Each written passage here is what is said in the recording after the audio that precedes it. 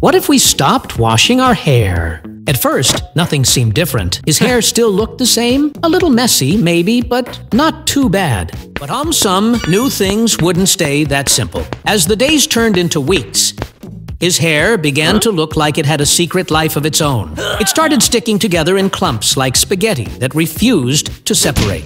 The shine disappeared, replaced by a greasy layer that could probably fry an egg. His head felt itchy, and no matter how much he scratched, the itch came right back.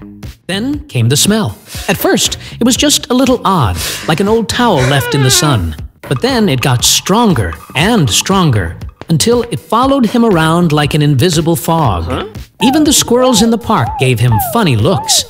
Itchiness got worse. AumSum pictured his scalp sending out an emergency signal, begging for help. He imagined little shampoo bottles on parachutes floating down to rescue him. Even his pillow looked like it wanted to run away. Not to mention the poor comb, which now refused to go through his hair without getting stuck halfway.